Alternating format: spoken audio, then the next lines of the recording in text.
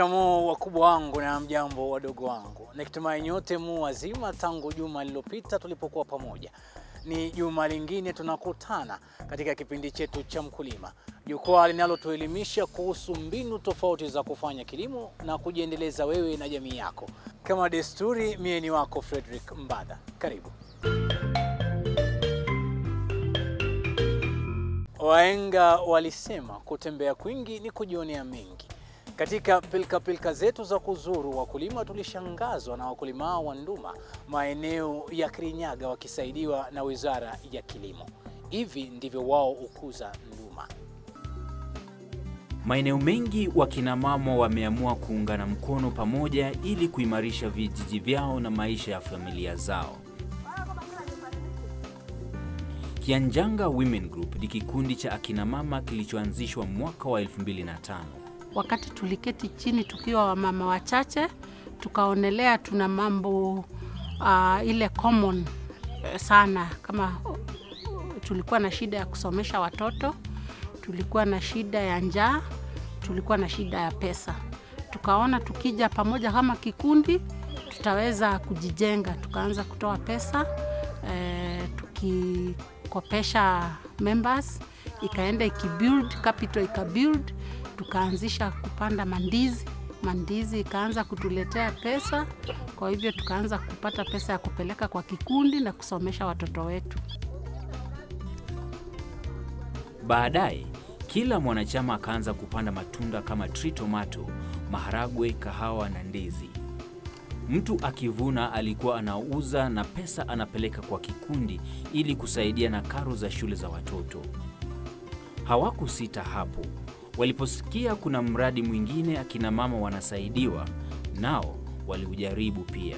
Hii project ya nduma tulipata wale watu wanafanya kwa Ministry of Agriculture, wakaja wakatuambia kuna msaada unapatiwa wakulima, na kulikuwa misaada ya kila aina. Kati ya hiyo, hii nduma ndio ilikuwa msaada moja kutoka kwa watu wanaitwa Apatana Project tukaona hii nduma tunaweza kulima kwa sababu tu ni kuchimba mitaro uh, kupanda nduma. Mitaro ni ya fiti mbili kwenda chini, fiti mbili kwenda kando, alafu tunaweka karatasi ambayo itahifadhi maji. Kama tunavyojua, nduma ni mmea unaohitaji maji kwa wingi ili ukue vyema. Akina mama hawa lengo lao lilikuwa ni kupanda mmea huu shambani mwao. Basi maarifa zaidi yalihitajiwa ili mmea huu unawiri.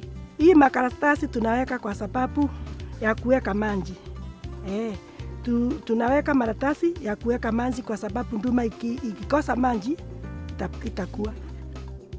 Mbali na mchanga na mbolea, iliwabidi wachimbe mitaro na kuweka mifuko ya lailoni ili wakitia maji mle shambani ikae kwa muda mrefu bila kukauka. Kwa sababu ni mara yao ya kwanza kupanda mmea huu, mbegu nayo ilikuwa tatizo kiasi kupata. Mbegu ya hii nduma tulitoa kwa zile nduma zinapandwa kwa swamps. Eh, ni hiyo tu teknoloji tulitoa tukapanda huku, tulinunua kwa wakulima wale wana swamps wamepanda nduma, tukakuja tukazipanda hapa. Uh, ile kitu muhimu sana ni ziwe na maji wakati wote.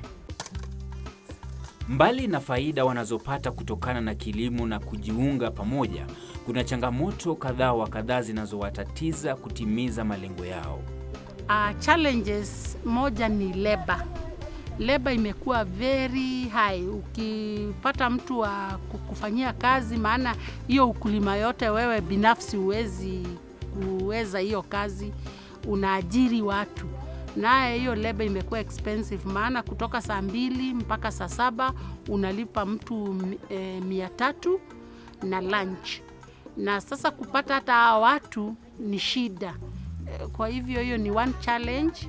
Uh, challenge hiyo ingine, kumekuwa na drought kwa muda uh, isipokuwa hii season ndio tumepata mvua ya kutosha. Kwa hivyo hiyo pia ni ilikuwa imekuwa challenge.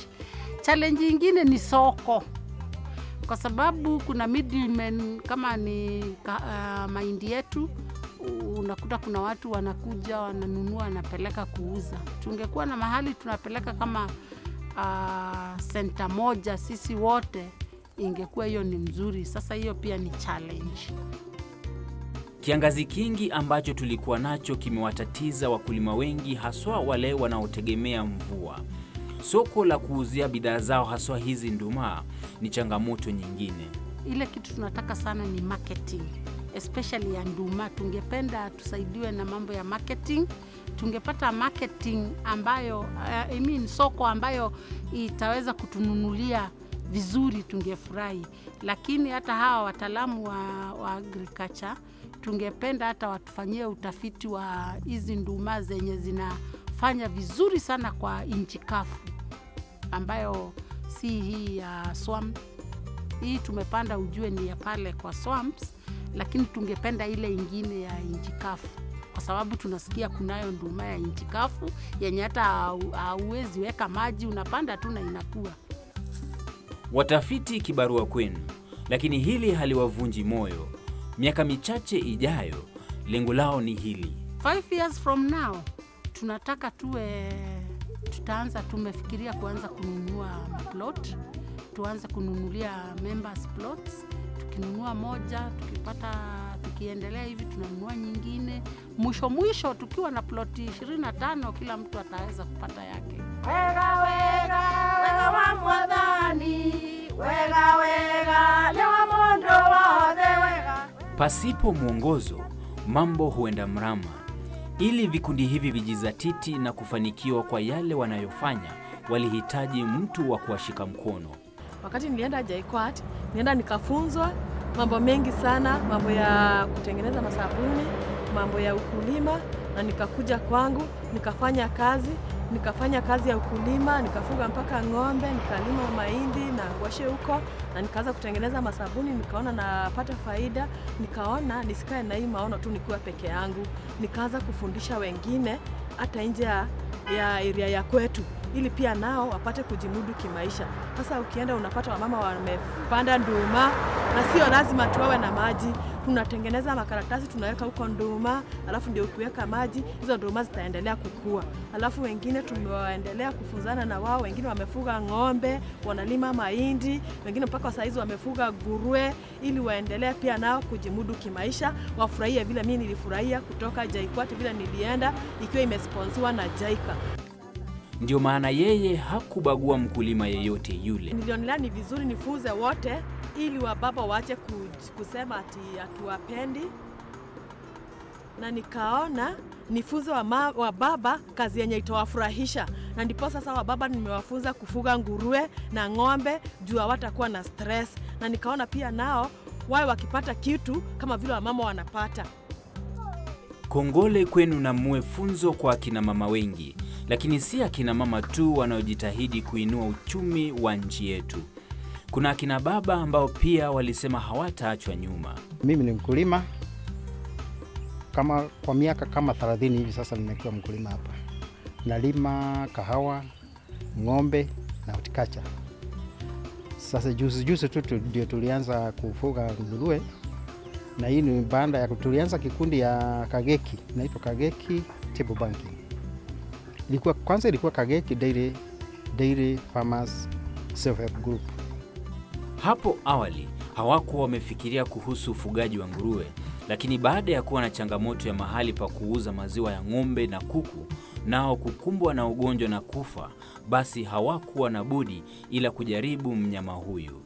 Nguruwe tulianza na tatu za kike, tuka tukanunua ikiwa ndogo ya miezi, miezi kama tatu hivi, tukafuka tukafuka, ikakomaa, tuka, tuka haya bua tukaileta. Sasa ndio sasa zimeanza ku, kuzaa. Mnyama huyu kumfuga ni rahisi sana, bora tu mpe chakula cha kutosha na kwa ukawaida na maji mengi ya kunywa na kuchezea. Wewe fanya shughuli zako, naye atakufaidi kwa nyama. Kundi tungependa sana kujua vile tunaweza tengeneza chakula juu tumeshaeleziwa, tunasikia wengine wanaweza kutengeneza chakula ya, ya nguruwe.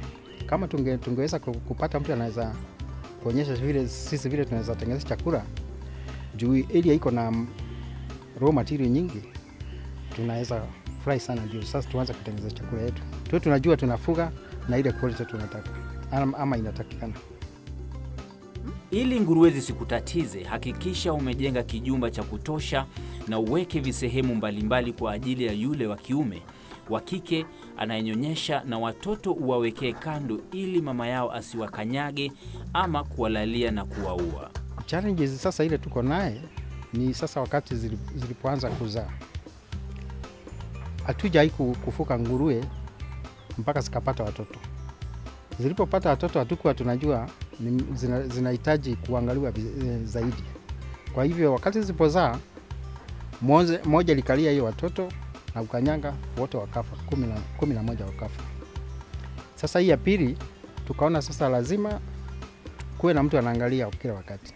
Daniel na wenzake wangependa kuwa wafugaji bora wa nguruwe na kuwa na nguruwe wengi hadi kufikia kufungua kichinjio chao cha nguruwe. vision yetu sasa kwa nguruwe, tunaona tunaweza fuga nguruwe, tuongezee nguruwe, hata pengine tuwe na pahali ya kuchinjia nguruwe. Unajua, tunafikiria tuki, tukifuga nyingi tunaweza kuuzia wale wana wanachinja, lakini tunafikiria hata sisi kama tunaweza pata maarifa ya kutosha, tunaweza fuga wengi, kwa kila memba tumpatie nguruwe ndiye naye afuge, tutupate pahali kichinjio, hata pengine tufike pahali ya kupaka ile nyama. Haya yote yamefanikishwa kwa jitihada ya watafiti na wachambuzi wa chuo kikuu cha JKUAT. Hongera kwenu na kazi isiishe hapo tu. Kuna majimbo mengi zaidi humu kwetu ambayo yatafaidika kwa mafunzo na utafiti wenu.